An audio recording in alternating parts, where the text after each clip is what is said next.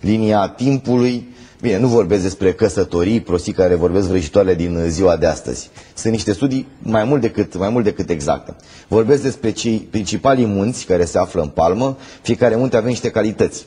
Dacă n-ai niciun munte, ești complet imbecil și o să-ți arăt imediat uh, uh, cum arată tipologia imbecilului, pentru că au, uh, au gravuri legate de tipologia oamenilor. Uh, primul munte reprezintă inteligență, uh, imaginație și nu știu cum. Al doilea munte, uh, de exemplu, muntele lui Mercur, reprezintă hotărâre, tenacitate și ambiție. Se presupune că ideal ar fi să ai cel puțin trei munți în palmă. Munții sunt, vezi, niște mici ridicături de aici și mai este un munte aici.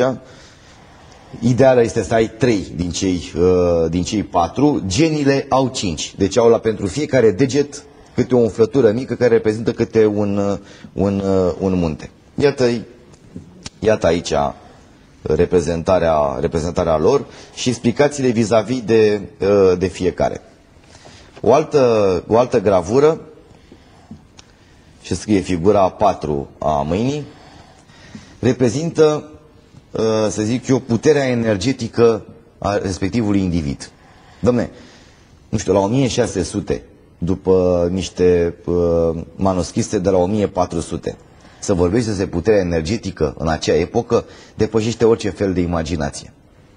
Nici savanții uh, biseicii n-au înțeles exact la ce se referă autorii, au considerat această lucrare nu ca fiind, ca fiind demonică, nu interzisă, pur și simplu demonică. Să vorbești despre energia uh, trupului, nu a spiritului, energia pe care o emană un individ, energia cu care un om, dacă are aceste caracteristici, poate manipula masele, poate manipula opinia publică, are puteri uh, telepatice asupra altora, are puteri de hipnoză. Și totul se recunoaște în uh, forma, uh, în studiul palmei, după anumite caracteristici. Reprezintă o chestie legată de, de, de vrăjitorie. Asta este cea mai importantă. Este, să zic eu așa, o calculație matematică a puterii individuale vis-a-vis -vis de studiul palmei omului. Dom'le, această, această gravură este și asta cercetată de uh, foarte mulți cercetători. Am citit că există un departament la Oxford legat de cercetarea acestor uh, fenomene și prin acestei gravuri. Această gravură este, a fost interesată într-una dintre reviste de specialitate, chiar și de către cei de la NASA. Da, Calculează dacă într-adevăr omul perfect, cel care reprezintă aceste ecuații matematice după forma uh, palmei sale, reprezintă astronautul ideal pentru a fi trimis în cosmos. Dar eu aici mă refer la o lucrare care apare la 1600. Deci este vorba de aproape 400 de ani după niște scrieri, după niște uh, manuscrise de la, 1000, mai vechi, de la 1411. Da. Da? Deci studiul începe la 1411 și se definește prin această lucrare de chiromanție în, la începutul anului 1600. Deci acum 600, 600 de ani, oameni, nu știu, din evul uh, mediu, din epoca medievală, reușesc să facă analize de o asemenea manieră, considerată în epoca respectivă de vrăjitorie pură, astăzi cu semne mari de întrebare pentru savanți, și reușesc să creeze ecuații matematice vis-a-vis -vis de puterea intrinsecă a unui individ, calculându-i palma. Sigur, în această lucrare se vorbește despre toate ramificațiile energetice din organism. Fiecare punct din palmă, adică este mai precis decât uh, uh teoriile chineze din secolele 4, 5, 8 legate de acupunctură. Aici se spune, uh, se, se arată clar prin grafică că fiecare punct din palmă poate afecta un organ și că corpul bolnav se poate face bine dacă știi unde să apeși, dacă știi care sunt puncte sensibile din palmă, în același timp aducând un elogiu perfecțiunii corpului uman care se poate regenera, deci nu există boală, ci există bolnav. Asta vrea să spună această lucrare. Ok.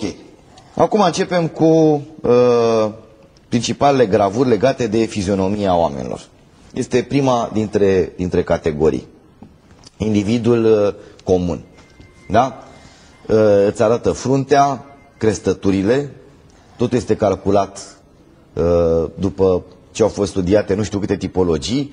Omul comun înseamnă omul docil, Este omul cu minte, omul care poate fi manipulat, care poate fi ținut în frâu de către uh, uh, conducătorii direcți, este cel care se supune orbește oricărei comenzi, muncește, se hrănește, uh, nu știu, se reproduce, ca să zic așa, nu are niciun fel de activitate foarte importantă.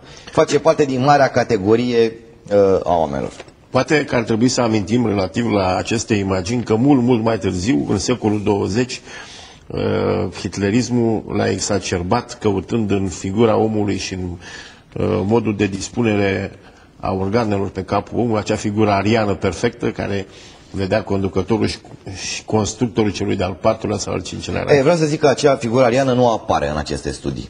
Eu consider ca fiind o înșelătorie scrie despre ea, deci despre forma uh, oval rotundă a capului și ce nu o consideră. Ei au alte criterii. De exemplu, ăsta este timpul, uh, genul uh, tipului, uh, să zic eu, omul cameleon.